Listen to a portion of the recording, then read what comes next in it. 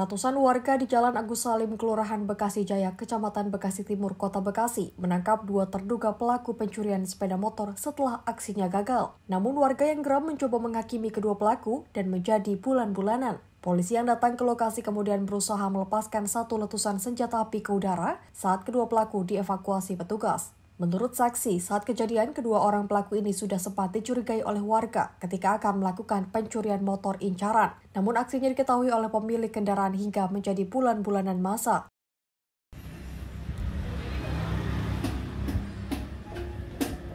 Saya dapat laporan, saya ada posisi ada di sini.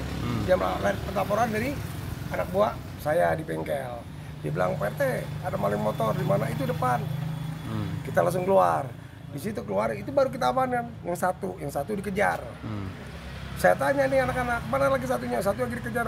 Amanin. Dari dari tujuh orang sampai 20 orang 30 orang kita masih bisa ngamanin masa.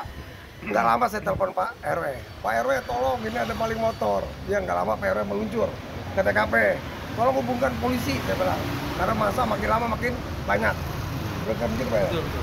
sampai TKP betul adanya ada uh, kita tahu ada dua orang di sana.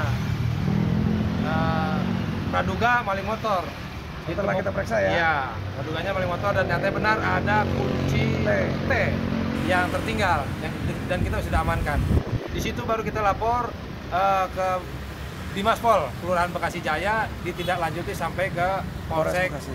Bekasi Timur. Kita sudah upaya bagaimanapun tadi yang disampaikan Pak RT cegah kita. kita cegah kita amankan sampai kita ungsikan ke rumah ada rumah warga kita. Ada warga kita di sana.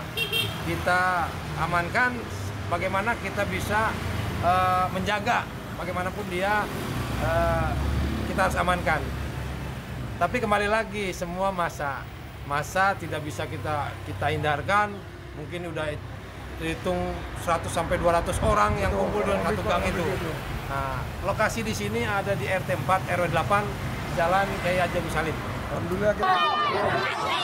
Sebagai barang bukti, petugas kepolisian bersama warga mengamankan satu unit sepeda motor, dua identitas pelaku, dan satu buah kunci letter T. Kasusnya kini ditangani Polsek Bekasi Timur. Tim Liputan Berita Garuda TV melaporkan.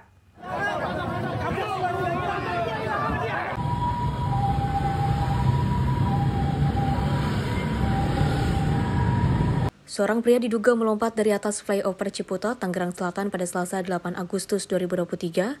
Korban tewas seketika dengan luka parah di bagian kepala.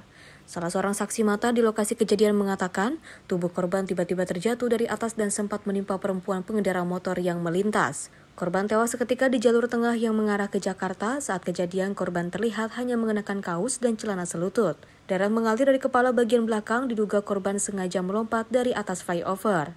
Dari identitasnya, korban diketahui Nur Hadi Santoso 35 tahun dengan keterangan profesinya sebagai guru. Korban beralamat tinggal di Kampung Setu RT 14 RW 04, Setu, Tangerang Selatan. Polisi yang datang ke lokasi telah mengevakuasi jasadnya guna kepentingan penyelidikan lebih lanjut. Tim Liputan Berita Garo TV melaporkan.